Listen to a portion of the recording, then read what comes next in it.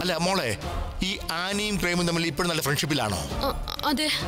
ആ പ്രേമിന്റെ ഫോണിൽ അവസാനമായിട്ട് വന്ന കോൾ ആനയുടേതാ.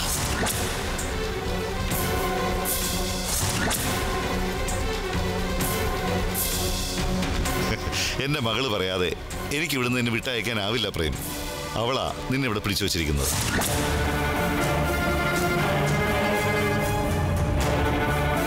കിഡ്നാപ്പാണെന്ന് തോന്നിപ്പിക്കുന്ന സൂചനകളൊന്നും പോലീസ് ഇതുവരെ കിട്ടിയിട്ടില്ല.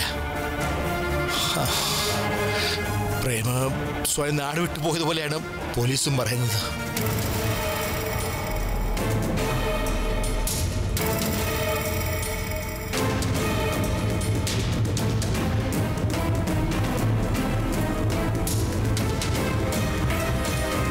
ഇന്ന് ഉച്ച കഴിഞ്ഞ് മൂന്ന് മണിക്ക് പൗർണമി തിങ്കൾ.